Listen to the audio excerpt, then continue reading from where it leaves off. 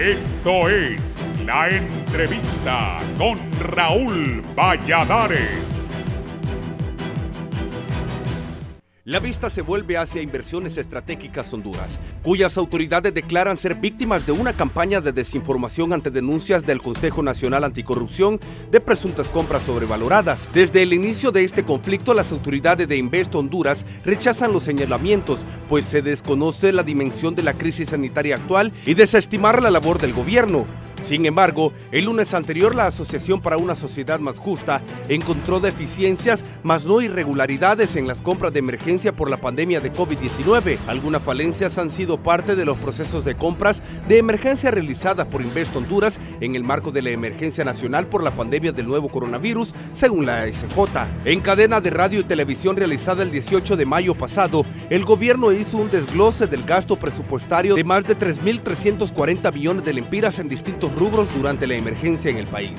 Entre las instituciones con presupuesto comprometido y no ejecutado durante la calamidad al 8 de mayo, a Invest Honduras contaba con 1.921.752.049 lempiras con 20 centavos. El 28 de abril, el CNA presenta el informe La corrupción en tiempos del COVID que cita la compra de mascarillas N95 y descartables a precios elevados mediante contrataciones directas amparadas en el decreto PCM 033-2020 del Poder Ejecutivo. Ahí se detalla la compra de 250 mil mascarillas N95 a la distribuidora comercial hondureña SA Diconsa, valoradas de forma unitaria en 140 lempiras para un total de 35 millones de lempiras por dicha compra.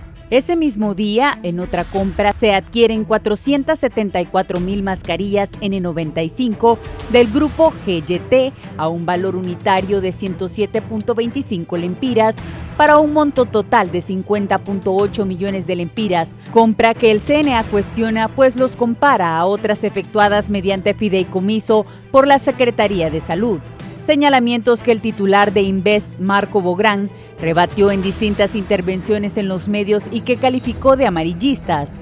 El informe del CNA es amarillista y lo que busca es generar un protagonismo en medio de la pandemia. El CNA no hace un trabajo profesional, sino despertar una actitud de rechazo de la ciudadanía hacia el sector público, los informes han afectado mucho a mi equipo de trabajo, afirmó Bográn. Los compradores públicos pudimos haber salido al mercado y cometer errores en cuanto a los precios que el mercado especulativo genera, pero eso no es equivalente a ningún tipo de corrupción, lo niego rotundamente. Cuando el CNA asevera que hay sobrevaloración porque otro comprador encontró mejores precios no es corrupción, es que el mercado está errático.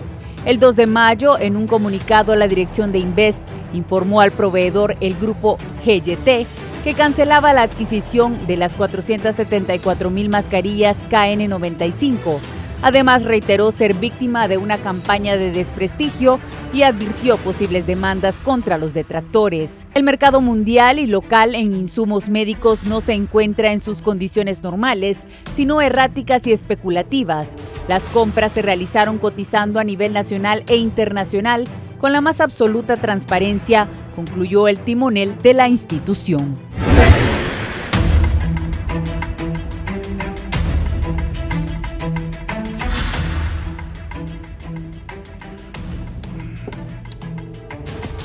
Hola, bienvenidos a la entrevista 20 de mayo del 2020.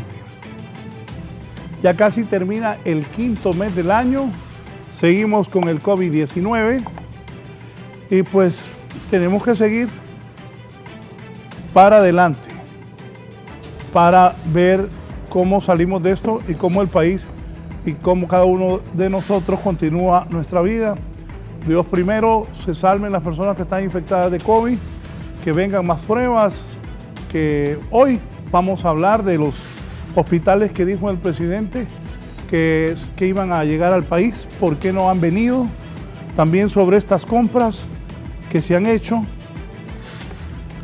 Eh, quiero aclarar, eh, ayer invitamos a los miembros del CNA del Consejo Nacional Anticorrupción que tanto han cuestionado a Inves Honduras.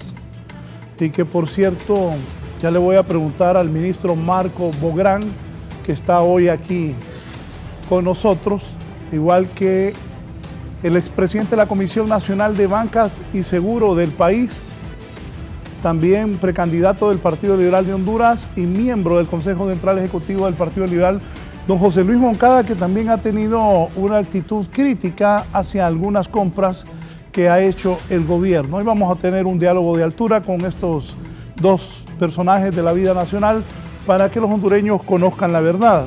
Porque eh, yo soy de los que piensa que una persona es inocente hasta que no se le demuestre lo contrario.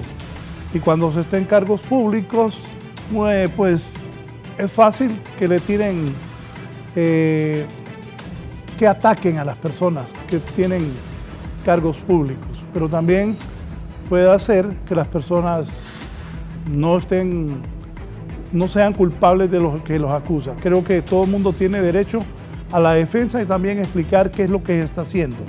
También el presidente Hernández decidió que Marco Bográn fuera el director de Inves y fuera el encargado de estas compras. Primero voy a, a saludarlos ambos. Ministro Bográn, buenos días.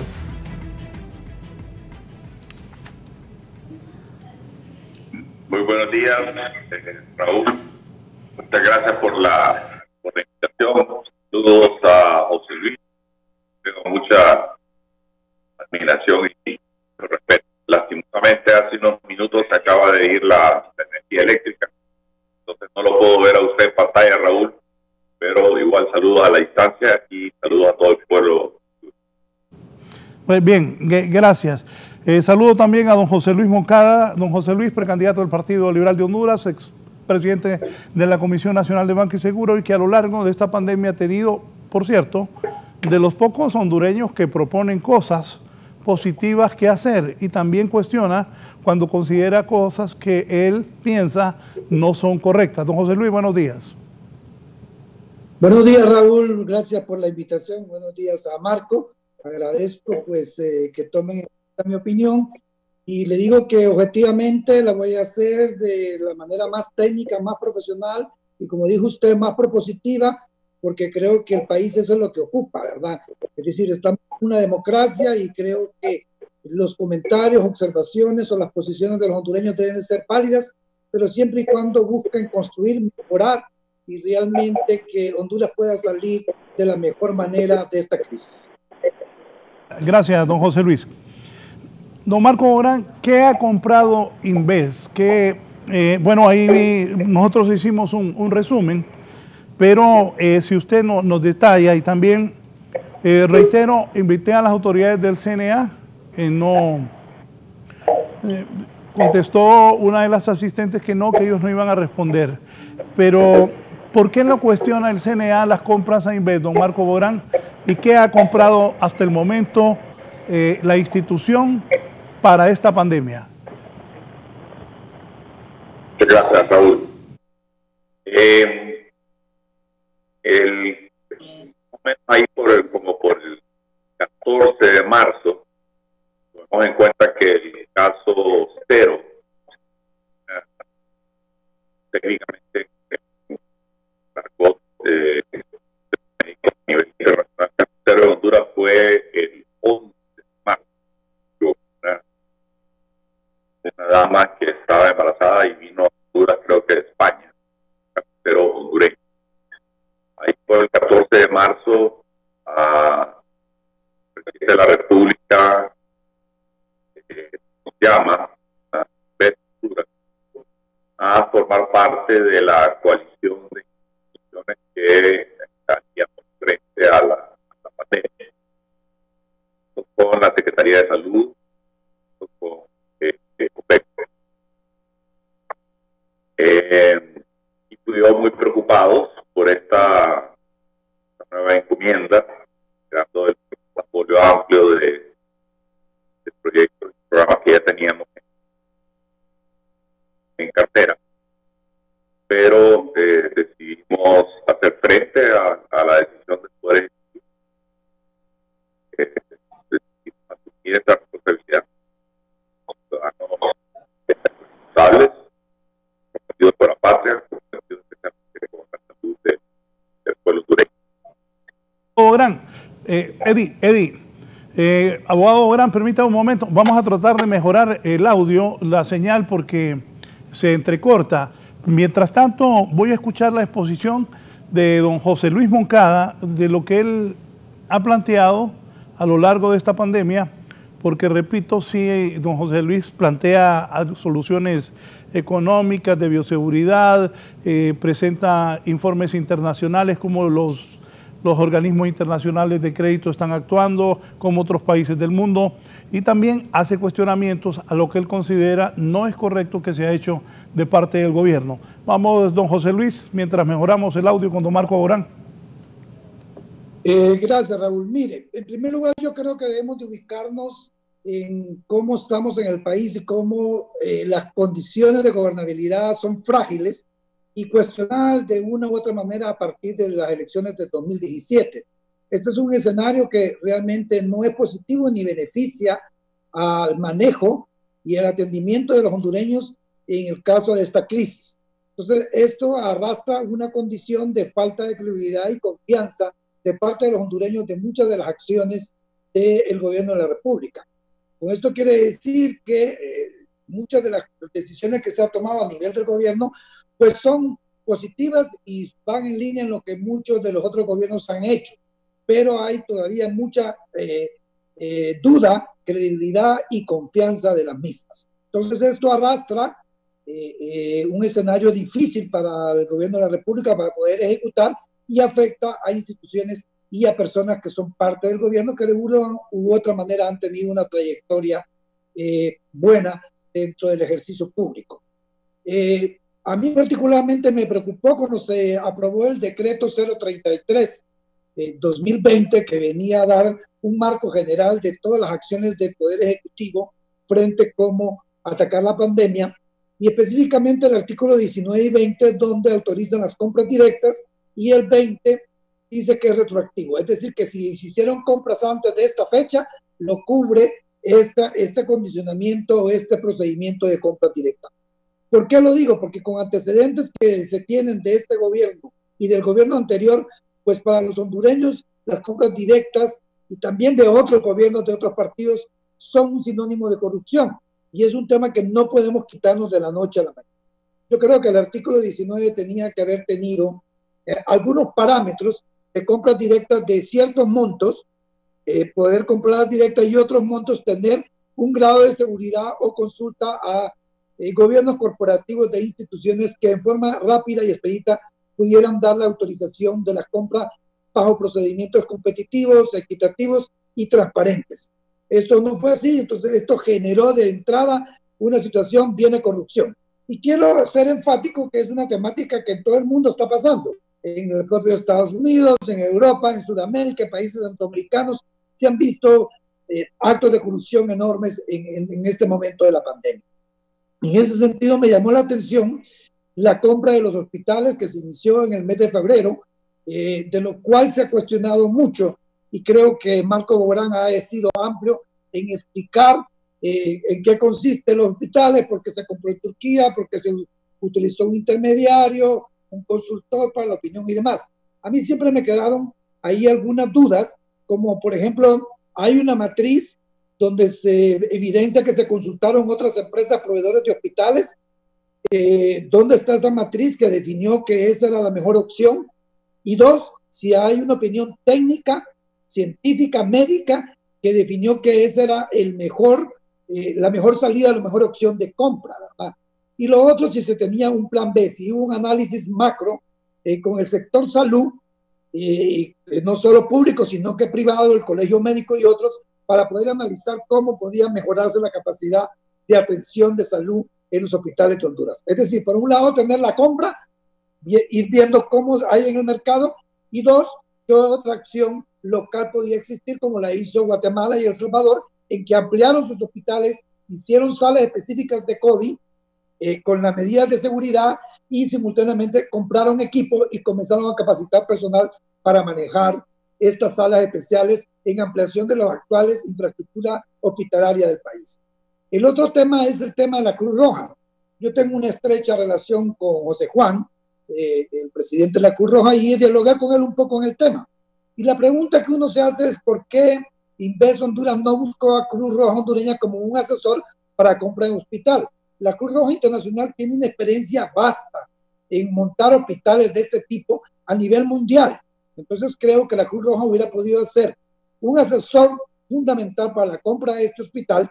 Con esto no estoy diciendo que lo que se compró no es bueno, pero creo que la asesoría de la Cruz Roja hubiera sido fundamental. Y por el otro lado, hasta el día de hoy no sé cuáles fueron los motivos por los cuales Inves Honduras no dio los elementos técnicos o requerimientos técnicos que la Cruz Roja pidió para poder operar estos hospitales.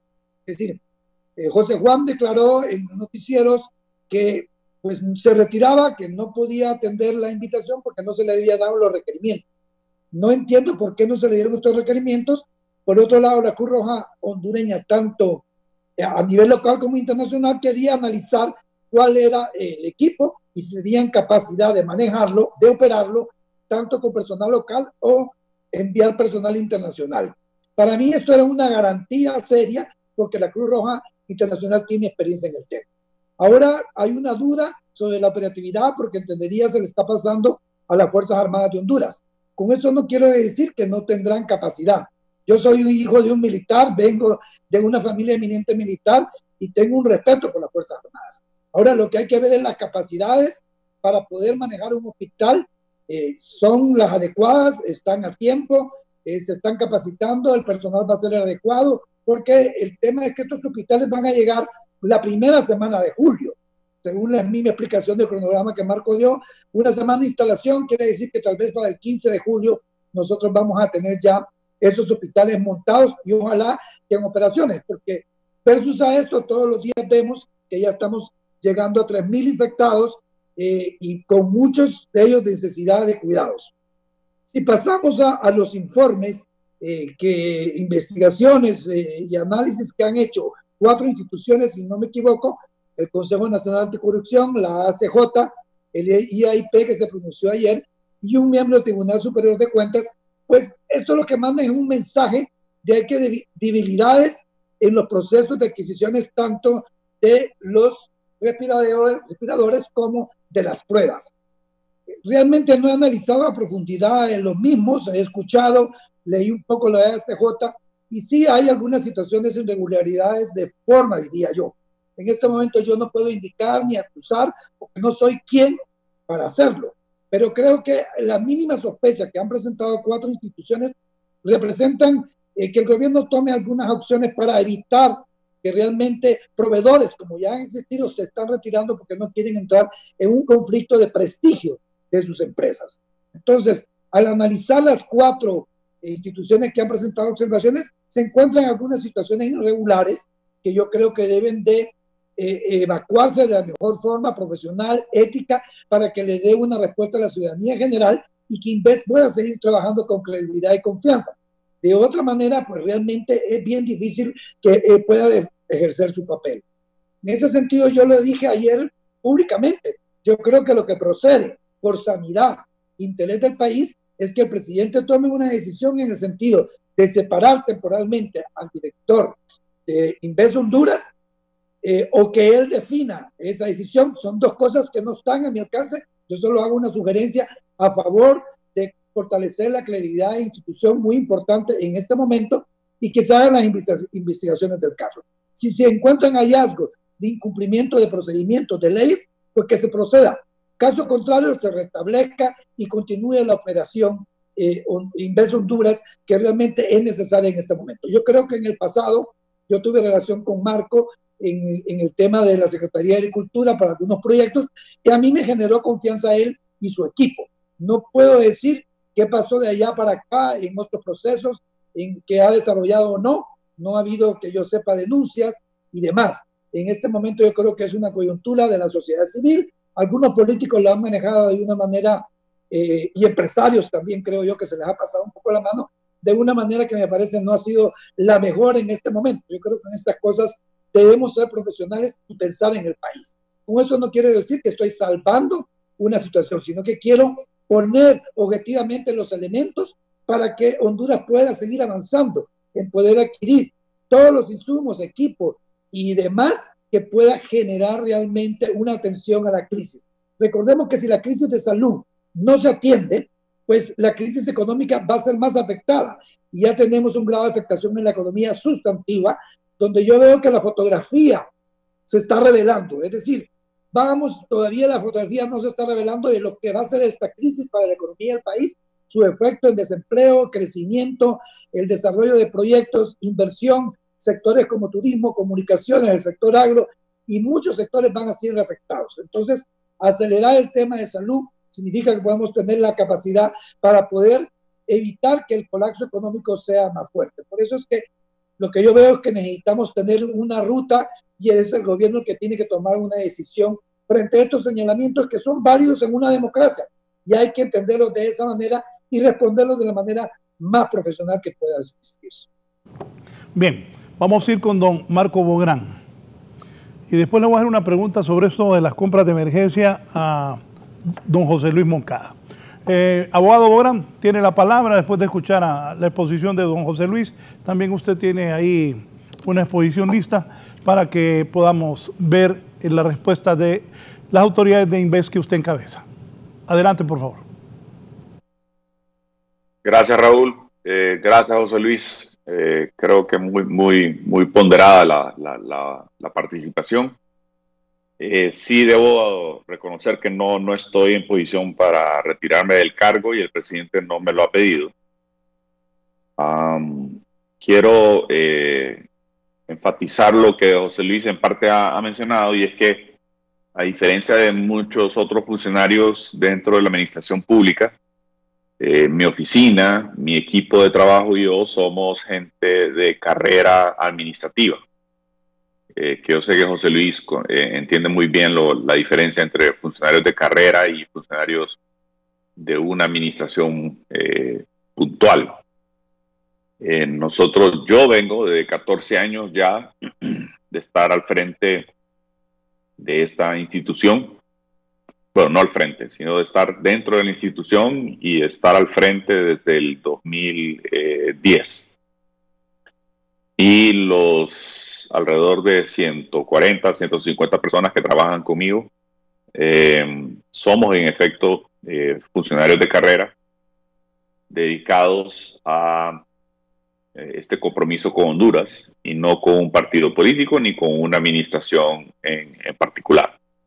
Ahora, ya en cuanto a el manejo de la crisis, como venía mencionando, y lastimosamente estoy sin energía eléctrica en, mi, casa y por lo tanto no puedo ver a José Luis ni a, Raúl en pantalla. Pero les mencionaba que hay que retrotraernos al momento de, del 14 de marzo, cuando eh, el Poder Ejecutivo nos pide eh, participar de manera activa en eh, el enfrentamiento de la, de la pandemia. Y estoy aquí con datos eh, de ese momento de la Organización Mundial de la Salud y las proyecciones que hacían para esa fecha, para el 14 de, marzo en, particular. Se decía en ese momento que la Secretaría de Salud contaba con 6.600 camas hospitalarias, alrededor de 1.500 camas eh, fuera del, del sistema de salud pública solamente 30 camas de unidades de, cuidados intensivos neonatales, 37 camas de unidades de cuidados intensivos pediátricos eh, y, eh, y, y, adultos entre cinco hospitales públicos. Y de esas, que son más o menos unas 158 unidades de cuidados intensivos que existen actualmente en el país, ya un 70% en aquel momento estaban ya ocupadas por pacientes que tenían alguna otra comorbilidad. Y las proyecciones de la, de la Organización Mundial de la Salud en aquel momento era que teníamos que esperar alrededor de entre 30 mil hasta casi 50 mil casos potenciales de COVID-19 eh, de los cuales el 80% serían leves, es decir, unos 40 mil casos, severos, un 14%, es decir, 6.500 casos, y críticos, un 5%, es decir, casi 2.500 casos.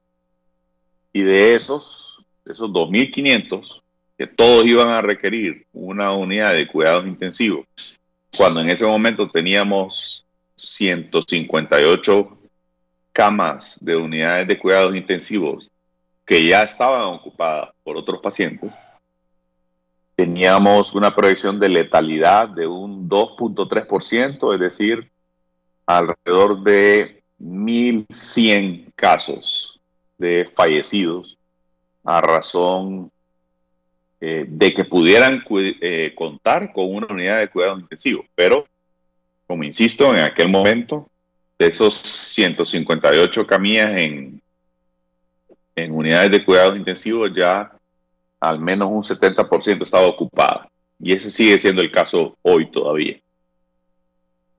Esa era la situación al 14 de marzo de 2020. Eh, como decía José Luis, todos los países del mundo hemos venido tomando decisiones eh, drásticas. Eh, Estados Unidos no es la excepción, ni mucho menos Italia, ni Francia, ni el Reino Unido, uh, ni España. Y yo he insistido varias, varias veces en los medios. España tiene el tercer mejor, por lo menos hasta el año pasado, el tercer mejor sistema sanitario del mundo y el COVID-19 puso, eh, reveló por completo la, el colapso del tercer mejor sistema sanitario del mundo. Ahora, si vemos eso, la realidad nuestra. 158 camas de unidades de cuidados intensivos que ya estaban ocupadas el 14 de marzo de 2020 y nosotros por enfrentar una, en aquel momento una potencial eh, demanda de al menos unos 2.500 casos que nos iban a exigir unidades de cuidados intensivos. Ahora quiero eh, referirme a lo que decía José Luis, los cuatro actores que él menciona que se han pronunciado con respecto a las compras de Invest Honduras. El primero es el CNA, ya voy a llegar a eso el segundo es ASJ, el tercero que él mencionaba es el Instituto de Acceso a la Información Pública, el cuarto es el Tribunal Superior de Cuentas. voy a empezar por el tribunal.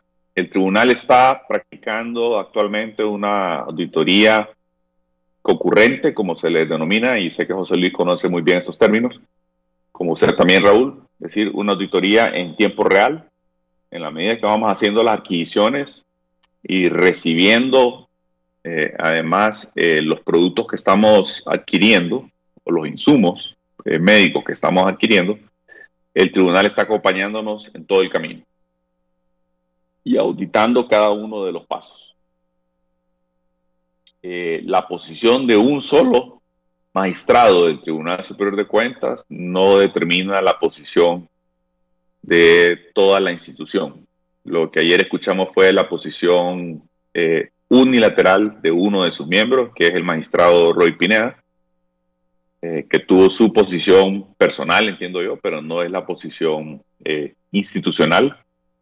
Y si lo es, me confunde, porque, como insisto, estamos con una auditoría concurrente con el Tribunal Superior de Cuentas y un equipo de trabajo muy robusto, muy profesional, dicho sea de paso, a quienes debo felicitar porque nos han acompañado en todo este proceso, tanto de las adquisiciones, pero mucho más importante, en el nivel de exposición de ir a recibir los insumos al Almacén General de Salud, a Copeco y a los diferentes eh, lugares donde hemos venido recibiendo insumos y por lo tanto exponiéndose, en lugar de estar en, cuarentena en su casa, exponiéndose al, virus. Y por eso deseo felicitar a ese equipo de trabajo. El Instituto de Acceso a la Información Pública no es un veedor como tal, es una institución que se encarga y se asegura de que la divulgación de la información se garantice. Y lo que recibimos ayer fue una puntuación de 94%, para eh, Invest Honduras por el nivel de divulgación de toda la información relacionada con la pandemia y las compras que hemos hecho en este momento eh, de la crisis. El instituto no ha eh, señalado ningún tipo de irregularidades ni falencias en nuestros procesos. Lo que sí señaló el instituto es que eh, no obtuvimos el 100% y lo mencioné ayer en algunos medios porque algunos de los contratos u órdenes de compra que yo he firmado personalmente para adquirir eh, medicamentos como por ejemplo la, hidroxicloroquina ah, y también las pruebas de COVID-19 en Corea del Sur y estas pastillas que mencionaba en China las tuvimos que eh, suscribir en contratos que estaban tanto en el idioma inglés como también mandarín como también eh, coreano y no tuvimos el tiempo de hacer eh, por la emergencia, obviamente. No tuvimos la oportunidad de hacer la traducción por escrito para eh, publicarlo en el, en el portal de transparencia en el idioma español. Pero esa es una realidad del, del mundo. Eh, hoy el mundo entero está volcado a comprarle principalmente a los países asiáticos. Los dos grandes proveedores del mundo en ese momento de insumos eh, biomédicos son China, quienes eh, ya pasaron por su crisis sanitaria y por lo tanto lo que tiene es un excedente de inventario de, insumos biomédicos que quieren colocar en el mercado internacional. Y también eh, Corea del Sur, que en buena medida también ya pasó por su crisis y también está colocando su propio inventario pero ellos lo hacen con o a través de contratos de adhesión. En eso sí sé que José Luis lo entiende muy bien por ser eh, miembro de la Cámara de, Aseguradoras. Los contratos de adhesión son aquellos a los cuales eh, quien suscribe el contrato no tiene oportunidad de plantear sus propias condiciones, sino que se adhiere sí o no a las condiciones que el contrato le ofrece. Y si no desea adherirse, entonces simplemente el siguiente cliente pasa eh, y se adhiere al contrato y, obtiene los insumos. Así está el mercado internacional. Lo que Honduras no compra, lo compra el siguiente país. O todavía peor, eh, lo que Honduras no compra, no lo logra comprar porque ya hay por lo menos 50 países antes de Honduras que están queriendo adquirirlo. Vea usted, eh, Raúl, Chile.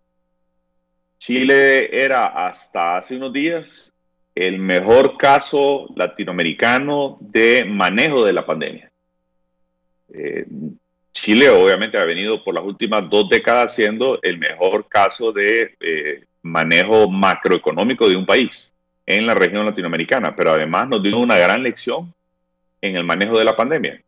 Pero ahora Chile ya tuvo un repunte, un nuevo repunte de casos que demuestra no tenemos un conocimiento pleno todavía de lo que es este virus, ni cómo se comporta, ni si puede regresar o no.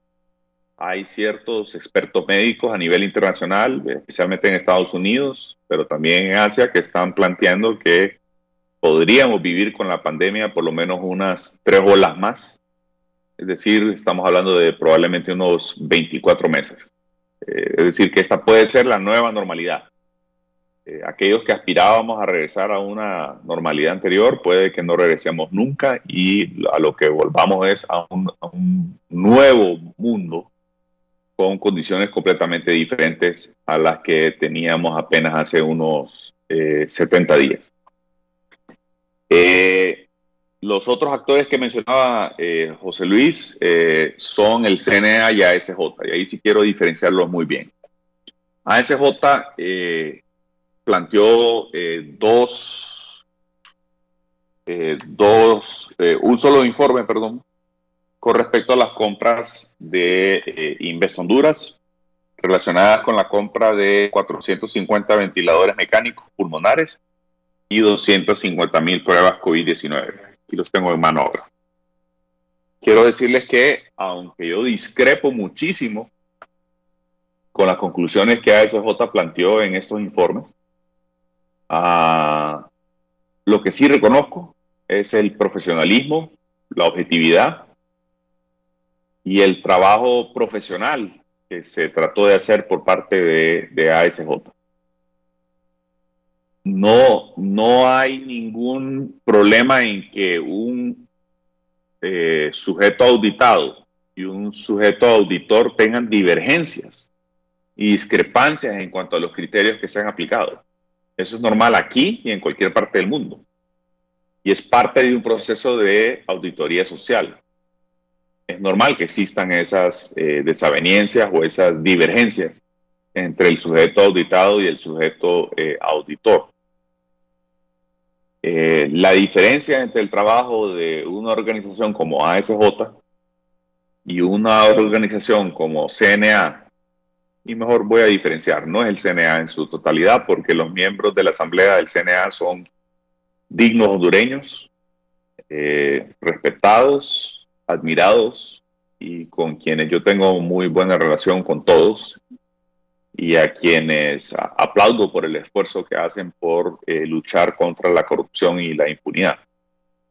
Con quienes sí tengo una clara divergencia, y más que eso, eh, eh, un repudio total, es hacia las actuaciones o el desempeño de los miembros de la dirección ejecutiva del Consejo Nacional Anticorrupción, y en este caso hablando particularmente de la directora ejecutiva, y creo que se denomina el, jefe de investigación.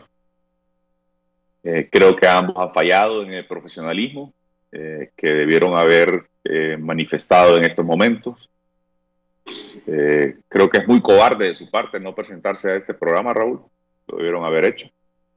y creo que en tiempos de pandemia universal, como la que estamos viviendo, es triste que una que estas dos personas en particular, no sé si hay más dentro del CNA, estén eh, manifestando este tipo de, pronunciamientos que son claramente eh, calumniosos, injuriosos y difamatorios. Pero después de la pandemia tendrán que responder en los tribunales, sin duda, porque eh, no, se puede ir a la, a la diestra y siniestra destruyendo eh, reputaciones, destruyendo vidas, destruyendo familias, como si no hay consecuencias. Sí las habrán. Y, quiero recordarles a ellos que marquen mis palabras hoy porque mañana nos vamos a ver. Luego le pediría a Raúl que si podemos poner el, informe que yo quería eh, plantear hoy día en pantalla. Lastimosamente yo no, lo puedo ver porque como lo digo no tengo energía en la casa, pero eh, puedo demostrar entonces cómo eh, para, para poder responder a José Luis y para tranquilidad de él, para que vea que las actuaciones de Invest Honduras han sido plenamente eh, responsables, honestas y objetivas. Y aunque podemos tener en efecto debilidades en nuestras compras, como cualquier eh, otro ser humano, porque todos los procesos son perfectibles, sí puedo demostrar que lo que hemos hecho lo hemos hecho de, de muy buena fe. Entonces pediría que iniciáramos por el, documento extenso que le mandé, eh, Raúl, sí, para que eh, lo podamos ir planteando en pantalla. Sí, abogado, solo voy a hacer una pausa para volver con, el, con la presentación, pero también preguntarle a usted y a don José Luis Moncada esto de las compras de emergencia. Varios gobiernos la han hecho y la pregunta es, en medio de una pandemia, eh, ¿cómo se compra? con la burocracia del gobierno. Don José Luis ha estado en el gobierno y, don Marco está en Inves. Voy a una pausa también la presentación y sobre esto de las compras de emergencia, que me expliquen, don José Luis ha cuestionado esas compras de emergencia, se han hecho en otros gobiernos, pero también qué piensa don Marco Borán, cómo se hicieron esas compras de emergencia, si fueron transparentes, si no hubo movidas, si no se favoreció a nadie y ha dicho que don Marco Borán hoy que después de la pandemia va a demandar en los tribunales del país a miembros del Consejo Nacional Anticorrupción, que repito, anoche a través del licenciado Alexander Cerrato y de Raúl trataron de contactar a Odir Fernández. La asistente del señor Odir Fernández dijo que las autoridades del Consejo Nacional Anticorrupción no iban a contestar ni lo que había dicho Eval Díaz ni lo que decía el abogado Marco Bográn. Esa fue la respuesta del asistente del abogado Odir Fernández, pero si él quiere participar puede llamarme, poner los números ahí en pantalla más adelante o, o lo vamos a intentar llamar a Alexander y Raúl para tratar de que Odir Fernández del Consejo Nacional Anticorrupción, que le hizo fuertes señalamientos de corrupción a Inves, que dirige don Marco Bográn, también pueda participar.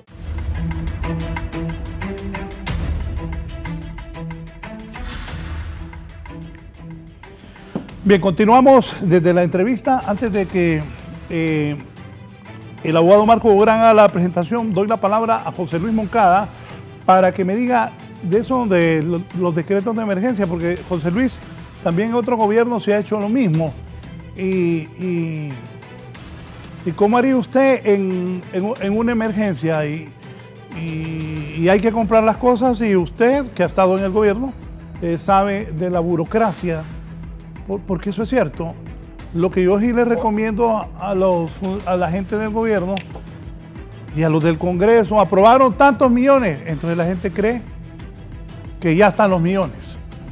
El otro día, hace un mes y días, estuve con el presidente en una entrevista, así como estoy con José Luis y con el abogado Bográn, y el presidente ahí me mandó unas fotos, el hombre presentó que, que traía de Turquía esos, esos hospitales, no han venido los hospitales. ¿Por qué no han venido? Más adelante le pregunto también al abogado Marco Bográn, pero tiene la palabra don José Luis Mocada. Raúl, mire, yo he tenido una experiencia en el tema de compras directas. Por cuatro años fui miembro de la Junta Directiva del Seguro Social en representación del COEP. Y ahí pues aprendí en esos cuatro años bastante lo que es el acceso y compra de insumos, medicinas, material quirúrgico, equipo y demás. Y realmente mejoramos en gran medida con Armando Urtecho, que los dos éramos representantes, ese, ese proceso de compras ya sea en un estado normal o un estado de emergencia. Dicho sea de paso, en parte de esos cuatro años me tocó trabajar con el doctor Marco Bográn, el papá de Marco. Mire, yo he monitoreado un poco este tema de compras de emergencias en América Latina. Lo que sucede es que yo lo que veo es que se ha legislado más en el concepto serio y prudencial de lo que es una compra de emergencia. Es decir, eh, usted no puede tener una compra de emergencia o directa libre totalmente, eh, porque sí genera ese tipo de idea de que se puede prestar a actos de corrupción. Entonces, muchos de los países, Colombia, Chile, Perú y creo que Costa Rica han normado en qué consisten las compras de emergencia en el sentido que reducen requisitos, pero no obvian cierto tipo de cumplimientos que hay que dar. Eh, por ejemplo, cuando yo leo lo de ACJ, eh, una de las indicaciones que ellos hacen es que no, no se llevó a la Junta o a la gobernanza de Inves Honduras la aprobación. Esto quiere decir que fue una sola persona y un equipo técnico que decidió esto. Entonces, ahí es donde digo que hace falta eh, una, una decisión a nivel del gobierno de poder normar en qué consiste una compra de emergencia, una compra directa, qué requisitos mínimos sí se tienen que cumplir para no dejar a una libertad subjetiva del ente estatal o de la persona que dirige este estatal qué requisitos sí o no. Es decir, cuando usted mire y dice, bueno, es que los proveedores de las mascarillas y de los eh, y de los respiradores eh, son bien pequeños, no han tenido experiencia, eh, nunca han vendido este material. Entonces usted se encuentra en que hay mucho oportunismo en este momento de proveedores que no le, que le pueden generar un buen precio, pero no le pueden generar calidad y asegurar tiempo de entrega, como pasó en este momento, en que se, se están demorando los tiempos de entrega sin una penalidad. Entonces, a mi criterio, eh, nos encontramos en esa falencia.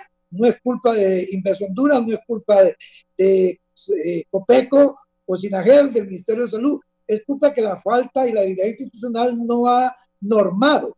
Pero eso no obvia que eh, en el caso particular, si yo estuviera en una función de esa, yo trataría al máximo de agilizar el cumplimiento de la compra de emergencia, pero me blindaría con la mayor parte de asesoría y sobre todo que mi órgano de gobernanza pueda conocer. Yo creo que el mismo decreto 33 habla sobre las reuniones virtuales, donde se hubiera podido convocar al órgano, a la gobernanza de Inves Honduras, a que dice, mire señores, estas son las propuestas, estas son las opciones, Y yo, pues realmente Marco me hubiera cubierto, me hubiera sentido blindado en que la gobernanza me lo está dando, ¿verdad? Entonces, ahí yo creo que son actuaciones particulares que cada uno debe tomar, pero que siempre crean esa desconfianza y falta de credibilidad que se está haciendo en este momento. Mire, en el caso de la SJ, yo creo que tiene cosas interesantes.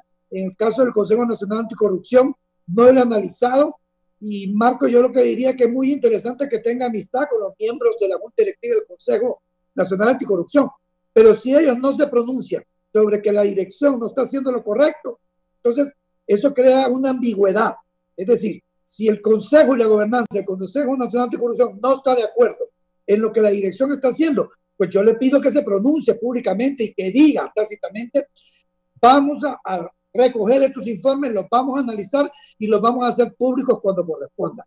No sé si la normativa del Consejo Nacional Anticorrupción así es, si le da libertad a la directora que pueda presentar esas líneas de investigación sin una revisión para asegurar, asegurar la credibilidad y no estar indicando de una forma inequívoca a personas e instituciones que de una u otra manera afectan el desarrollo normal y mucho más en este momento que tenemos una, una crisis donde las instituciones del Estado tienen que ser más ágiles, más transparentes, tener credibilidad y confianza frente a los hondureños y frente a los proveedores. Y no digamos ante los organismos financieros internacionales que de una u otra manera están poniendo recursos y quieren que sean ejecutados por los hondureños, pero de la mejor manera.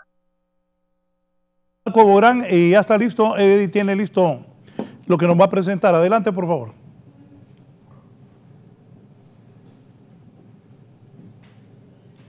Gracias, gracias Raúl. No, no, tengo acceso a la pantalla, pero igual lo que quiero es eh, ejemplificarles dos, bueno, los únicos dos casos que ha señalado el Consejo Nacional Anticorrupción eh, como supuestos eh, sobrevaloraciones que ha hecho eh, Invest Honduras.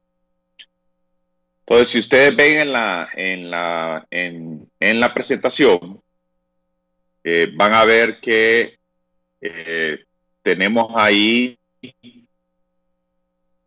una primera diapositiva que quisiera llevarlos, que es a la página del informe del CNA, donde se marca en amarillo, en, ya le voy a decir qué página es, se marca en amarillo lo que son las compras de las mascarillas descartables.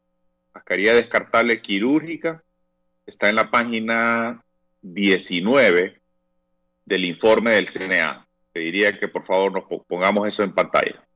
Página 19 del informe del CNA, donde se señala que el Banco de Occidente logró una cotización y por lo tanto colocar una orden de compra de mascarillas descartables quirúrgicas, cantidad un millón, precio eh, unitario dice 10 lempiras, perdón, y son 10 eh, millones eh, de lempiras lo que ellos estaban adquiriendo frente a 22.37 lempiras que es el valor de la compra de Invest Honduras, valor unitario por mascarilla descartable quirúrgica. Si seguimos bajando, usted va a llegar a el informe del Banco de Occidente en el informe del Banco de Occidente, que no tiene número la página, pero usted va a llegar a, en su lado izquierdo, a eh, un ofertante que se denomina Meiko SA. Me gustaría que bajara eh, a lo largo de la presentación hasta que lleguemos a donde usted vea a su lado izquierdo, Meiko SA. Que en mi presentación está en la página 11 del documento que les envié. como no puedo ver en pantalla, Raúl, le preguntaría si ya estamos ahí, en la página 11 de la presentación que yo les mandé. Pues estamos buscándola, lo que pasa es que sin que usted lo vea, está un poco complicada la cosa. Ya, pusiste la página 11, ahí está. Pues se la voy a leer, dice, la corrupción en tiempos de COVID-CNA, para el presente informe se utilizaron únicamente los ítems contenidos en línea 1 y 2 de la orden de compra anterior. A continuación se integran los dos ítems bajo investigación. Primero, mascarillas N95 sin, sin válvula. Se autorizó la adquisición de 150 mil unidades, un precio unitario de 4 dólares con 81 centavos, ascendiendo el monto a 721 mil 500 dólares, utilizando, utilizando la tasa de cambio promedio del dólar correspondiente al año 2020, equivalente a un total de 17 millones 930 mil 328.83 y un valor unitario de 119 lempiras con 50 centavos. Ítem 2 mascarillas descartables se autorizó la adquisición, vaya muchachos, van subiendo eso, la adquisición de un millón de unidades a un precio unitario de 90 centavos de dólar, accediendo al monto a 900 mil dólares, utilizando la tasa de cambio promedio del dólar correspondiente al año 2020, equivale a un total de 20 millones 366 mil 314 lempiras con 55 centavos y un valor unitario de 22 lempiras con 37 centavos. Orden de compra 17 2020, valor del ítem investigado en lempiras. Ya aparece la fecha del 9 de enero, de abril del 2020 y dice mascarillas descartables, 9%, de filtración sin válvula y mascarillas descartables quirúrgica y están las cantidades que se menciona. Don Marco. Ok. Entonces le decía, vámonos a la, a la página 11 del informe eh, nuestro, del informe, del, del, documento entero que yo le mandé, no, no del informe, sino página 11 del documento nuestro, el que yo le mandé. Y usted va a ver ahí cómo tenemos dos eh, ofertas de parte de eh, el Banco de Occidente. Una es por Meiko, que ofrece una mascarilla N95, y otra es la droguería Bendición y Salud, también mascarilla N95, contra la cual comparan los precios de Invest Honduras. Y usted va a poder eh, comprobar cómo eh, a pesar de que no tengo acceso a la pantalla, como esas eh, órdenes de compra del Fideicomiso de Banco de Occidente han sido totalmente canceladas por parte de los proveedores porque no las han podido traer del exterior.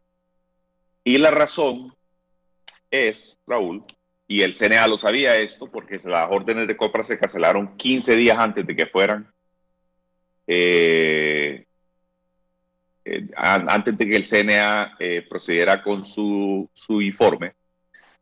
Y la razón es porque en China los chinos han aplicado una especie de confiscación disfrazada que en lugar de retener por completo todos los insumos biomédicos, lo que han hecho es que han aplicado un sistema mediante el cual han elevado por completo el precio del transporte comercial internacional. Por un lado, limitando el volumen de carga que se puede ir ya sea en transporte aéreo como transporte marítimo y por lo tanto elevando el precio a este punto, eh, que es lo que nos han mencionado los proveedores nuestros.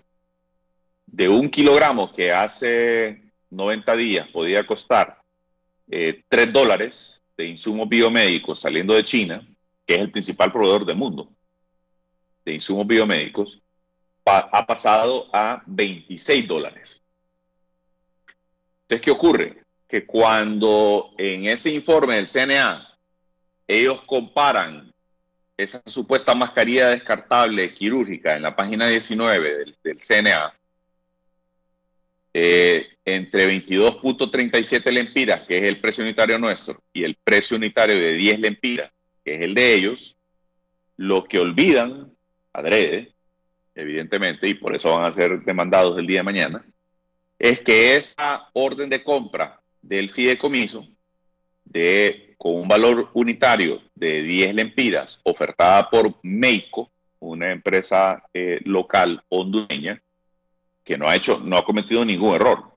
Lo que ha enfrentado son los problemas de un mercado volátil y errático internacional. Esa orden de compra fue cancelada, Raúl, asómbrese usted, 15 días antes de que el CNA divulgara su informe difamatorio. Es decir, que 15 días antes se canceló la orden de compra, ellos, sabiendo que esa orden de compra ya no existía y que no iba a poder ser cumplida por el mercado local, aún así decidieron publicar su informe y comparar ese precio contra el precio nuestro, que es un precio que sí es real, que sí el proveedor cumplió y que es lo que hoy tiene a los hospitales públicos con equipo de protección personal disponible. Si no fuera por las compras de Invest Honduras que hemos realizado desde el 14 de marzo para acá en cuanto a equipo de protección personal, los hospitales públicos de hoy ya estarían completamente desabastecidos. Porque ninguna de las órdenes de compra de equipo de protección personal, refiriéndome a mascarillas, batas, overoles, eh, protectores faciales, eh, anteojos, para los médicos y para todos los empleados del sistema de salud pública, nada de eso estaría disponible si no es porque Invest Honduras hizo las adquisiciones en condiciones de emergencia a partir del 14 de marzo de este año. Y eso me lleva a lo que usted mencionaba con José Luis. Eh, y ahí discrepo con él. José Luis, eh, eh, en tiempos de emergencia o se compra de manera directa o se compra vía licitación. Solo caben dos alternativas. Y lo que nosotros hemos hecho es comprar al proveedor que tiene los insumos disponibles en el momento más oportuno y además que nos garantiza entrega en el momento que lo necesitamos. De nada nos sirve comprar algo si va a venir el próximo año. Y mire cómo nos ocurrió esto, Raúl.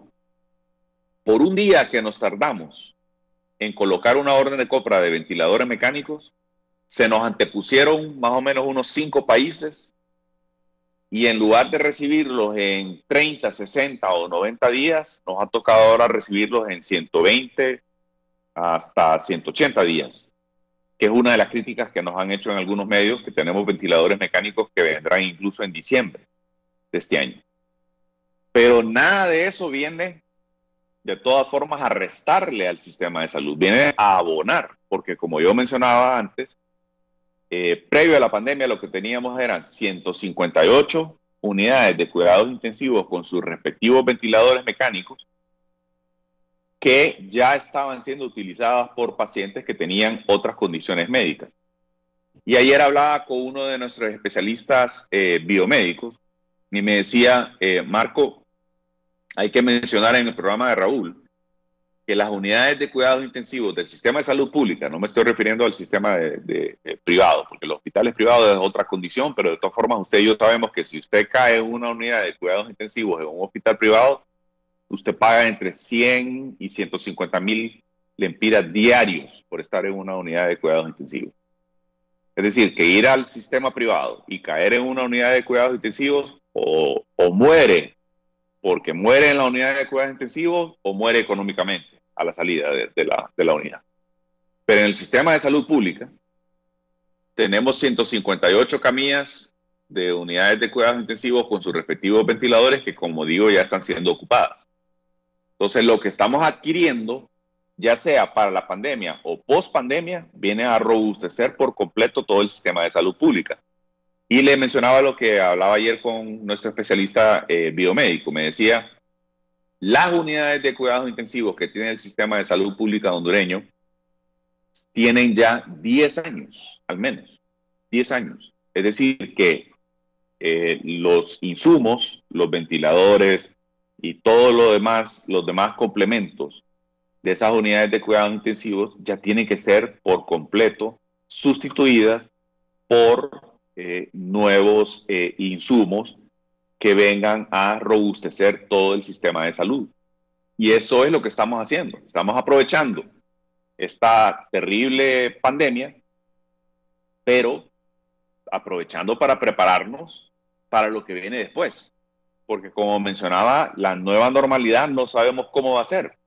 Puede que sea una nueva normalidad en la que vivamos en una entrada y salida permanente de la pandemia, como lo que mencionaba le ha tocado, por ejemplo, a Chile, que creían los chilenos que habían salido de su crisis y han regresado a un repunte y ahora tienen que volver a hacer confinamiento, tienen que volver a hacer cuarentena cuando ya habían aperturado su economía, que es lo que estamos buscando hacer nosotros en los próximos días y es lo que está haciendo Estados Unidos a partir de, de ayer pero pudiera ser que esa apertura de la economía implique un repunte en el nivel de contagios y por lo tanto en el nivel de fallecidos eh, y obligue al país a un nuevo confinamiento, a cada uno de los países del mundo a un nuevo eh, confinamiento. Los países asiáticos vivieron la misma, experiencia. Eh, Taiwán, Corea del Sur, luego de haber pensado que ya habían salido por completo de la crisis del coronavirus, tuvieron un nuevo repunte, lo volvieron a controlar, hoy en día están en una, lo que llamamos la meseta, es decir, que están en una planicia en cuanto al, al número de, de, contagiados y no en, una, en un nivel de ascendencia, pero, pero pudiera ser que venga una segunda ola que es lo que la mayoría de eh, los expertos médicos en Estados Unidos están eh, evaluando. Se está considerando a nivel internacional, y estoy seguro que José Luis conoce estos datos, que probablemente vamos a vivir por lo menos unas tres olas del coronavirus en los próximos 24 eh, a 48 meses. Entonces, la normalidad de ayer ya no existe. Lo que vamos a vivir es una nueva normalidad y como insisto, en esa nueva normalidad, eh, la lucha contra la corrupción y contra la impunidad no debe detenerse, debe continuar y debe ser eh, más ardua que nunca, pero no puede basarse en documentos difamatorios, calumniosos e injuriosos como los que ha planteado el CNA. Ese ejemplo que le doy de la mascarilla de 10 lempiras que ellos eh, compararon en su informe contra la mascarilla que nosotros sí adquirimos y que sí vino a Honduras y que sí ya la entregamos en el almacén general de salud y en, el informe que, lo, que le envié, usted lo puede ver en las últimas páginas eh, donde mostramos fotografías de la entrega en el almacén general de salud de las mascarillas, tanto las descartables eh, quirúrgicas como también las KN95, que es otra comparación que se hizo eh, y ahí ellos plantearon que la unidad, el precio unitario de Invest Honduras de una mascarilla eh, KN95 anda en 107.25 lempiras, ¿correcto? ¿Está bien? Ahí lo podemos ver en la página 19, también en la misma página que les señalé del informe del CNA. Mascarilla KN95 está en, en la línea número 3. Eh, perdón, número 2, 107.25, contra 67 lempiras según compras de fideicomiso de Banco de Occidente. Lo que olvidaron mencionarle, y no es que lo olvidan, es que adrede eh, dejan de serlo, eh, y si no, pues que Odir llame ahora mismo, o Gabriela, que llamen ahora mismo al programa, para ver si me desmienten. Lo que olvidaron mencionar es que la empresa que iba a entregar estos productos que se llama Droguería Bendición y Salud, SDRL, está en el informe del Banco de Occidente, que tenía mascarilla N95 a 67 lempiras con 0,1 centavos, tenía una orden de compra colocada el 14 de abril, y si usted ve en el estatus, aparece contratado sin entrega. No lo pudieron traer al país. Hoy, esa mascarilla hoy, a 67 lempiras, que supuestamente ellos comparan contra las compras de Inves Honduras, no ha entrado al país. Como tampoco la de 10 lempiras que ofertaba la otra empresa para mascarillas descartables. Entonces, eso demuestra que los informes del CNA, por lo menos este, y los de ahora en adelante veremos, pero este, en el que atacan lo que ellos denominan de manera eh, muy amarista las mascarillas de Invest Honduras, está basado en información completamente falsa que ellos conocían plenamente. Plenamente, Odir y Gabriela sabían que esas órdenes de compra no se iban a cumplir y que una de ellas ya había sido cancelada por el, por el propio proveedor, porque no dijo el proveedor expresamente, y aquí lo tengo en el informe de orden de, perdón, del Banco de Occidente. Proveedor explica en nota enviada que su fabricante no podrá Vamos, volver aquí. con los tiempos ni precios contratados. Sí, abogado, voy a escuchar ahora a don José Luis Moncada antes de la pausa y luego las conclusiones finales y preguntarle eh, nuevamente al abogado Marco Bográn por qué no han venido los siete hospitales que ofreció el presidente de la República. Eh, don José Luis, ¿qué piensa de toda esta explicación que ha hecho del de, abogado Bográn? Bueno, mire, él está entrando en detalles que yo no puedo rebatir en este momento porque no tengo información y tampoco lo quiero hacer porque no es mi pretensión en este momento. Yo quiero ver las cosas de un carácter macro. En primer lugar, yo le diría a Marco que, que no quiere decir que estamos en una compra de emergencia eh, o compra directa para una crisis mundial, nosotros vamos a seguir manejando estándares eh, de libre compra, de libre acceso, de comunicación con los proveedores, que eso a mí me parece que hay un conflicto de intereses, no debería tener ningún director de Inves Honduras comunicación con los proveedores de ninguna manera, es recibir las ofertas, escucharlas y analizarlas técnicas, objetivamente, financieramente y no tener ninguna comunicación. Para mí ahí hay un conflicto de interés. Yo lo que veo es que en muchos países y cercanos las compras directas, las compras directas y las compras de emergencia han tenido una normativa y un procedimiento que le genere mayor confianza y credibilidad al ciudadano. Es decir, no dar una libertad. ¿Y por qué si lo han hecho en otros países, por qué no lo hacemos en Honduras? Es decir, le dije al principio, arrastramos una falta de credibilidad y confianza de los hondureños en este gobierno y la están incrementando de esa manera. Entonces ahí es donde yo digo que el actuar eh, estratégico e inteligente de blindarse debería ser en otra manera. Yo creo que no me ha contestado la pregunta que hice sobre los hospitales. ¿Cuál fue la matriz que usted hizo para tener la compra de los hospitales fabricados en Turquía a través de una compañía en Estados Unidos. Se vieron otras opciones en México, en propio Estados Unidos, en, la propia China, donde usted pudo escuchar. El otro tema es, hay un análisis, un dictamen médico técnico que pueda decirnos que esa era la mejor opción para comprar eh, esos hospitales que van a llegar en julio y por qué no se contempló o, se dio lo de la Cruz Roja hondureña. Es decir, que la Cruz Roja hondureña fuera un asesor en esta compra y también fuera eh, un operador. ¿Por qué no se le dio la información a la Cruz Roja hondureña, los requerimientos que pidieron de los detalles técnicos de ese hospital para que ellos pudieran ser operadores? ¿Cuál fue el conflicto? ¿Por qué no se le dio a tiempo?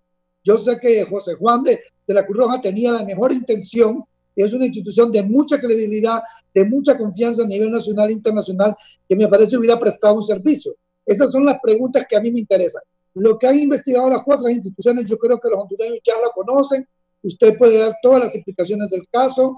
El Consejo Nacional Anticorrupción en su Consejo Administrativo, si no estoy de acuerdo con lo que está haciendo Gabriela Castellano, pues que se pronuncie que la haga retroceder si es que no está en lo correcto, me explico, porque no basta con ser amigos y escuchar, no, yo te apoyo, Marco, mira, Gabriela está eh, ahí que te tiene ojo de gallo, no, eso no sirve, sirve que el, el Consejo se pronuncie si está y respalda lo que la dirección ejecutiva del Consejo Nacional de Corrección puso en público.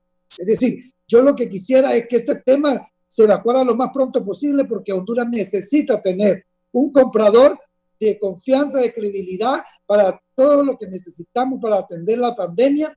Los organismos financieros internacionales han depositado en Inves Honduras en confianza, la pueden perder, los proveedores la pueden perder y entonces estamos en una circunstancia que es totalmente negativa para poder atender una crisis que a los hondureños nos interesa superar, tanto en salud como en el tema económico.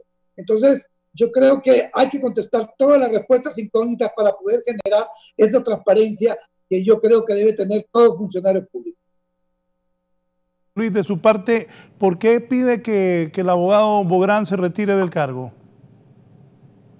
Porque mire, si hay tantas eh, señalamientos e indicaciones, yo creo que procede una investigación de forma por un tercero que pueda analizar si todos los señalamientos son válidos o no son válidos. Pero para que usted haga una investigación, la persona que esté indicada tiene que separarse del cargo. Eso es normal aquí en China y en cualquier parte del mundo. ¿explico? Y si la investigación arroja que realmente hubiera un incumplimiento, porque se proceda de acuerdo a lo que estipula la ley. Si no, pues que se reintegre.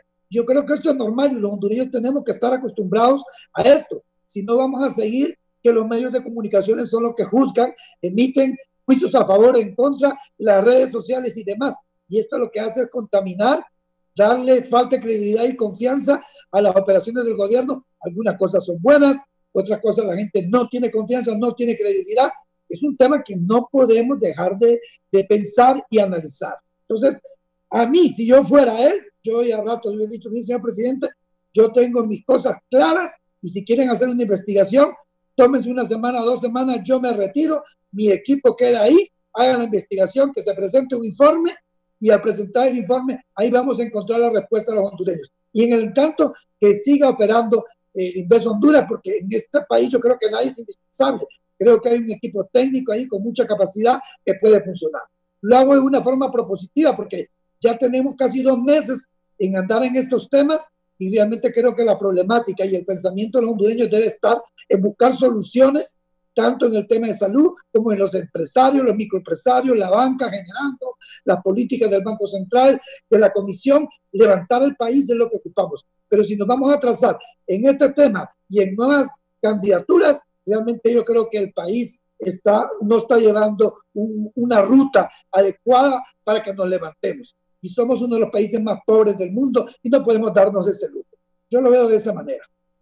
Muchas gracias a don José Luis Moncada que ha participado esta mañana, precandidato del Partido Liberal, expresidente de la Comisión de, Banca y Seguro y secretario de Relaciones Internacionales del Partido Liberal de Honduras. Abogado Bográn, director de Inves, eh, eh, ¿qué dice? ¿Por qué no han venido, si nos explica, los hospitales que ofreció el presidente de la República también José Luis dice que porque no se le consultó a la Cruz Roja hondureña, él solicita que usted pida un permiso, pues, eh, estas cosas, y también eh, si reafirma, eh, vamos a mandar a buscar a la gente del CNA, porque el abogado Brand también ha dicho esta mañana que los va a demandar luego de esta pandemia porque lo han calumniado con ese informe del CNA. Repito, ayer nosotros buscamos a don Odir Fernández, pero la asistente dijo que ellos no iban a responder a lo que había dicho el ministro Eval Díaz. Al igual fue invitado a este programa, les dijimos que iba a estar el, abogado Marco Bográn, pero la muchacha dijo que él no iba a responder. Abogado Bográn, las respuestas, principalmente esto, ¿por qué no han venido a los hospitales y cuando vienen? Otra cosa, Ayer hablábamos eh, con el ministro de Valdías, estaba el señor de ACJ también, y la OMS dijo hace algunos días que el pico de la pandemia en Latinoamérica va a volver a subir. Y usted habló de, es cierto, la vida va a cambiar para todo el mundo y, más para nosotros los hondureños, pues somos un país más pobre, más débil, con un sistema de salud eh, muy, muy débil. Pero eh, cuando vienen los hospitales, ¿qué viene más? ¿Qué va a comprar Inves más para protegernos a todos los hondureños del COVID-19? Por favor, abogado.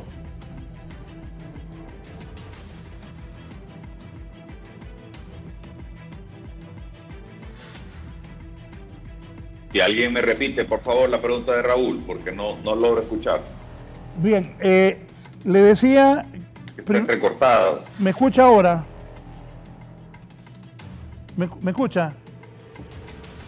Tal vez alguien en su producción que me pudiera... Sí. Voy, eh, vamos a ver, Kelly, eh, que le repita Kelly Olivera la, la, pregunta, por favor. Le decía, eh, le decía yo al abogado Marco Bográn que, que nos dice de cuándo vienen los hospitales comprados en Turquía, por qué no han venido primero, cuándo vienen esos hospitales, qué le responde a, a José Luis el por qué no se pidió apoyo a la Cruz Roja y, que él solicita que usted pida un permiso para la investigación y también la demanda que usted va a hacer contra la gente del CNA. Aparte de eso, ¿qué más se va a comprar de parte del gobierno a través de Inves para lo que es enfrentar la pandemia? Adelante, por favor. Ok, en cuanto a los hospitales, eh, como he mencionado en otros medios, estamos hablando de siete hospitales, tres de ellos eh, de 91 camas y cuatro de 51 camas. En total, estos hospitales cuentan con 260 unidades de cuidados intensivos, más 180 unidades de eh, atención eh, de alta dependencia o intermedia. Y además con eh, sus respectivas camas de aislamiento para lo que son los casos leves o, menos severos. los hospitales estaban previstos en efecto para finales de mayo, eh, ha habido dos condiciones que han afectado eh, la venida de los hospitales como se ha afectado el mundo entero. No es el caso hondureño, eh, José Luis y Raúl. Es el caso de todo el mundo. en un, para Honduras, la fábrica de este proveedor estadounidense, que no es un intermediario, como he venido insistiendo, es el dueño de la fábrica y es el propio productor de estos hospitales para el mundo entero, que es estadounidense, se llama Elmet Group. Eh, tiene su fábrica en Turquía y Turquía ha estado en confinamiento o en cuarentena, al igual que el caso hondureño. Ellos la han aplicado de miércoles a domingo, o de jueves a domingo, mejor dicho, todas las semanas. Y eso ha afectado entonces la capacidad de producción eh, no solo de, la fábrica de, que está eh, elaborando los hospitales nuestros, sino en general la producción en, Turquía. Eso es el primer eh, punto de retraso.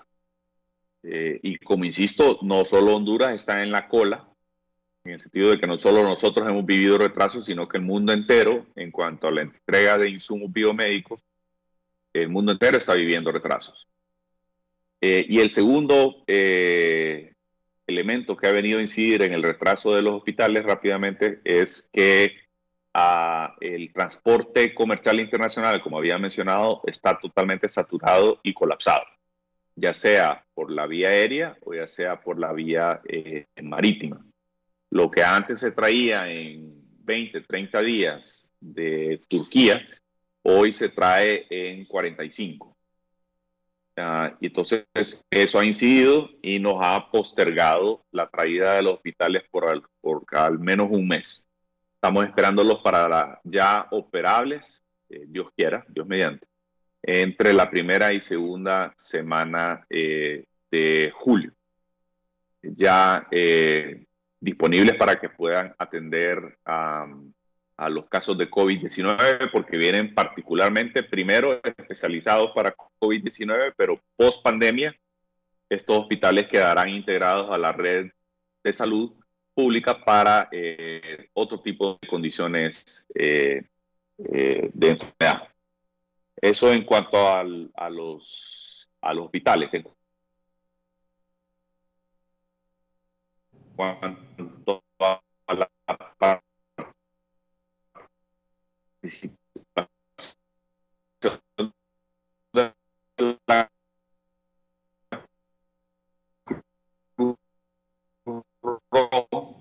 Vaya, Eddie.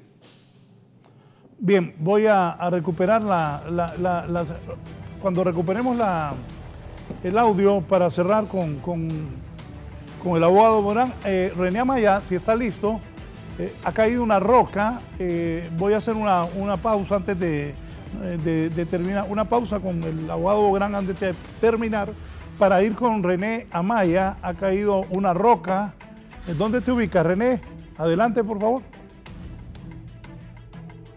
Bien, muchas gracias Raúl. Estamos en la 1 de diciembre. Mostramos de inmediato las imágenes para que usted vea. Mire, esta roca fue a eso de las 10, 11 de la noche que se desprendió de aquí de esta ladera y eh, estuvo a punto de acabar con la vida de cinco personas, de la madre y sus hijos. Ustedes pueden ver, se llevó la parte frontal de la pared de, que une hacia la parte de la cocina y la única salida, Raúl, que tiene esta familia, porque es la última casa que está pegado en esta falda de aquí de la 1 de diciembre, y han quedado completamente sin salida, ni de su casa, ni hacia, ni hacia afuera. Aquí estamos con la señora, que ella es la propietaria de esta vivienda, porque está pidiéndole también a las autoridades que no tienen que comer, imagine usted a esta hora de la mañana, porque vea usted cómo quedó su vivienda completamente cerrada producto de esta gran cantidad de rocas. Y el problema, Raúl, es que eh, hay una gran roca que es inmensa, que mide por lo menos unos 4 o 5 metros y está a punto de caer hacia otras viviendas ah, en la parte baja. Eh, ¿Cuál es su nombre, madre? Lilian Esperanza Escobar. Doña Lilian, ¿qué fue lo que ocurrió? ¿A qué hora ocurrió esto? Vamos a ver si nos relata. Esto ocurrió como a las 10 y media de la noche, ya para las 11 de la noche. ¿Usted estaba dormida? ¿Los niños estaban dormidos? Los niños estaban dormidos, yo estaba despierta porque yo cuando llueve yo siempre estoy pendiente a algo que suceda, ¿va? Porque a veces uno le da temorcito los aguaceros, las lluvias que caen y yo estaba despierta cuando al rato yo estoy reacostada en la cama cuando al rato oigo el estruendo y, y mis hipotes cuando hay en el estruendo me dicen mamá me dice el mayor qué pasó me pues yo creo que fue esa piedra que vino de enfrente le digo yo cayó le digo yo pero no no se preocupen le digo yo tranquilícense porque ellos gritaban como locos no podían salir. No no quedamos atrapados adentro no hallábamos por dónde salir porque la entrada donde cayó la, la, piedra es la entrada mía y la salida, entonces no hallaba por dónde salir. Y lo que hice fue tirarme por una ventana que tiene, tengo allá del cuarto, por donde la vecina, allá al terreno de ella, me tiré al, terreno de ella por la ventana. ¿Y a dónde se quedó durmiendo después? Ahí la vecina me, me dijo que me quedara ahí durmiendo, ahí estuve de la vecina. Y han venido gente de Copeco, de los bomberos. Que no ha venido nadie, solo vinieron anoche los bomberos a ver y dijeron que hoy iban a venir. Y la verdad que no han venido nadie. Bueno, Copeco más que todo tendría que estar pendiente acá. Mire Raúl, yo le digo, son gigantescas rocas que para poder, eh, hay, hay, que partirla en una gran cantidad de pedazos y por lo menos se tendría que llevarse unos unos 10 días para poder sacar toda esta gran cantidad de rocas que tiene cerrada completamente toda la entrada de esta humilde vivienda donde vive esta compatriota y que no tienen nada ni que comer los niños a esta hora de la mañana. Para finalizar, ¿qué llamado le dio usted al alcalde y al mismo presidente de la República? No, yo el llamado que les hago, que me ayuden a Juan Orlando y a los diputados, va, que miren mi situación, yo no tengo ni que comer ahorita a esta hora, no ha comido nada, estoy sin comer, aquí estoy desubicada y con mis hijos aguantando hambre estoy aquí. Y yo es lo que les hago una ayuda, que me ayuden a Juan Orlando y a los diputados también que me ayude a David Chávez y a todos ellos, va a los diputados que me ayuden y me, vengan a ayudar. Ya, y, bueno, no, no, le vamos a preguntar qué partido político pertenece, pero sí usted lo que tiene es hambre, que le vengan a dar comida. no, yo tengo hambre porque no hemos comido. Ahorita aquí donde estoy no he desayunado ni nada. Ahí está. Muchas gracias. Mire, Raúl, esto es lo que se vive aquí en la 1 de diciembre en Comayagüela con estas gigantescas rocas que por lo menos se llevará unos 10, 15 días para poderla eh, cortar y dejarle por lo menos la parte principal de la entrada de esta humilde vivienda para que pueda ingresar la señora y tendrá que invertir también un poquito porque le llevó casi toda la pared de la parte del frente. Así de forma resumida, retorno con ustedes, adelante. Gracias. Gracias a Dios se salvó esta gente. Esto es en la primero de diciembre, cerca de Loterocagua, me dice Evo, que es ahí por el campo de la Iberia, donde fui a jugar un par de veces. Eh, pues gracias a Dios. Y de verdad, los que andan en campaña van a ayudarles a señora. Eh, y las autoridades de Mujer. A ver, Juan Carlos García y papi, eh, hay que mandar a mover esa piedra. Gracias a Dios se salvó esa gente. voy con la, ya unos tres minutos ya, ministro. Eh, gracias por haber estado con nosotros esta mañana. Sus conclusiones finales, por favor. Gracias Raúl, lastimosamente eh, no pude ni verlo en pantalla ni escucharle completamente eh, durante toda la entrevista, ojalá la, podamos hacer nuevamente. Se me preguntaba si me puedo remover del cargo para dar apertura a una investigación. No, por el contrario, quiero que la investigación se haga ya y quiero permanecer en el cargo mientras se haga la investigación para poder responder a todas las preguntas y cuestionamientos que existen. Eh, le, ya le expliqué, creo, y no sé si se escuchó bien, me dicen algunos eh, por WhatsApp que no se escuchó la explicación sobre los hospitales móviles. Los hospitales, como mencionaba, eh, estaban previstos para las últimas semanas de este mes, pero por problemas de producción en Turquía, porque allá también están en confinamiento y en cuarentena de miércoles a domingo, eh, eso se ha retrasado por un mes, como todos los insumos biomédicos alrededor del mundo se han retrasado. Eh, y el otro factor que ha incidido en la traída de los hospitales, mencionaba, es también el transporte comercial internacional, que también está colapsado y saturado para el mundo entero. Eh, pero aún así estamos eh, recibiendo algunos insumos que ya están entrando para el equipamiento de los, de los hospitales. En cuanto a equipo de...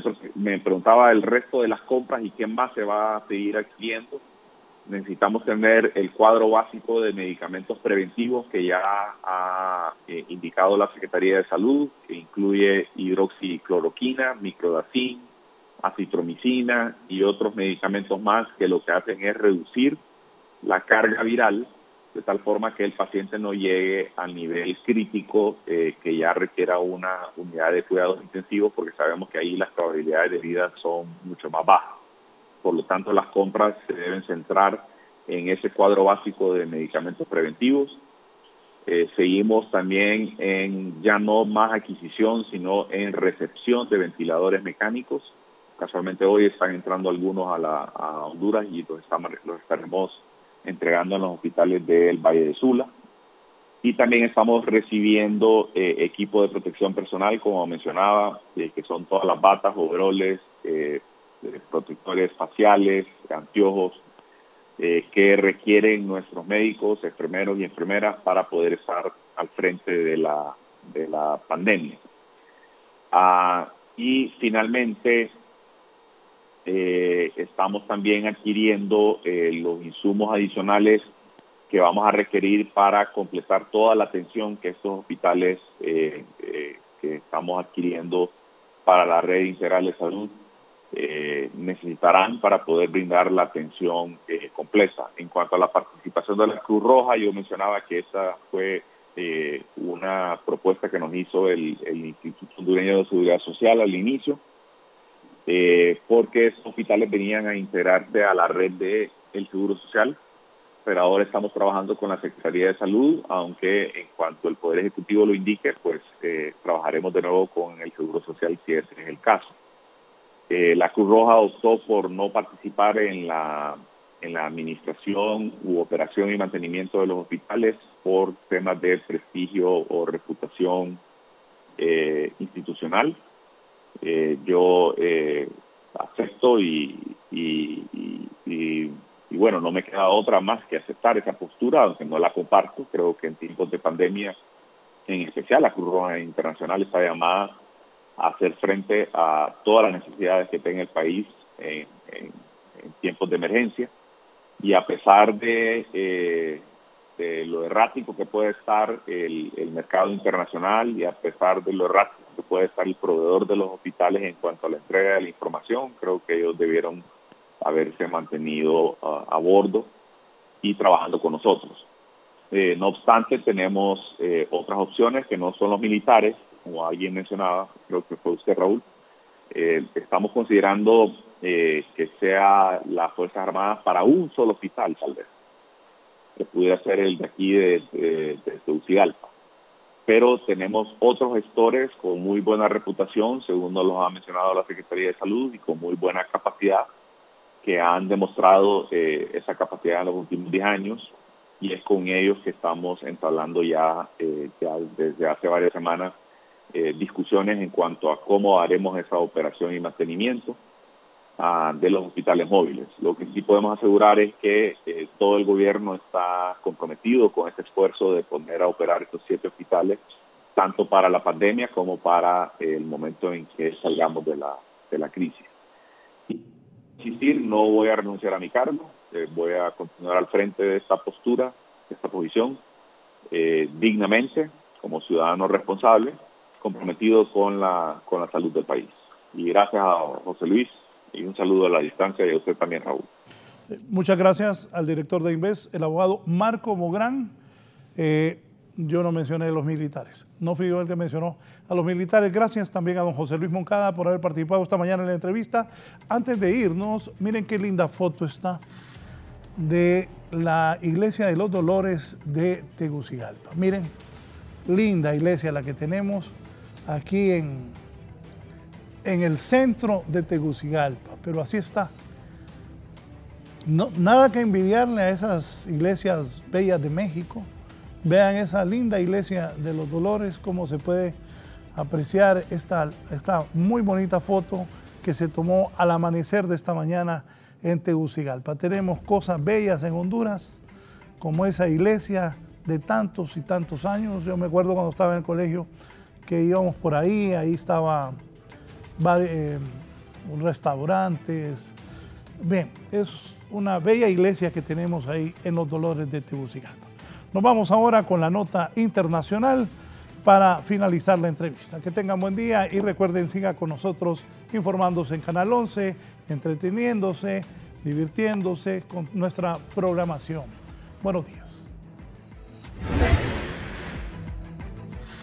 Funcionarios de salud pública de algunos estados están siendo acusados de alterar las estadísticas sobre las infecciones de coronavirus e incluso de recurrir a artimañas para hacer que las cosas parezcan mejor de lo que están. El riesgo es que los políticos, los dueños de negocios y la gente que necesita decidir sobre las cuarentenas, reanudación de actividades y otros asuntos cotidianos pueden tener la impresión de que la propagación del virus está más controlada de lo que en realidad está. En Virginia, Texas y Vermont, por ejemplo, las autoridades dijeron que están combinando los resultados de las pruebas virales que muestran una infección activa con pruebas de anticuerpos que muestran un contagio pasado. Los expertos en salud pública aseguran que ello puede brindar totales elevados en volumen de pruebas, pero no refleja el verdadero panorama sobre la propagación del virus. En la Florida, la experta en ciencia de datos que desarrolló un tablero virtual sobre los casos de coronavirus en el estado, Rebecca Jones, dijo esta semana que fue despedida por rehusarse a manipular estadísticas a fin de aumentar el apoyo a un plan de reapertura. Funcionarios de salud no respondieron de momento el llamado que hicieran para declaraciones. En Georgia, uno de los primeros estados en reducir las restricciones y garantizar al público que era seguro salir de nuevo, el Departamento de Salud Pública dio a conocer una gráfica alrededor del 11 de mayo en la que se mostraba que el número de nuevos casos de COVID-19 iba descendiendo en los condados más afectados. Sin embargo, los registros diarios no estaban acomodados en orden sino en un orden descendente. Para 11 Noticias, Raúl Valladares.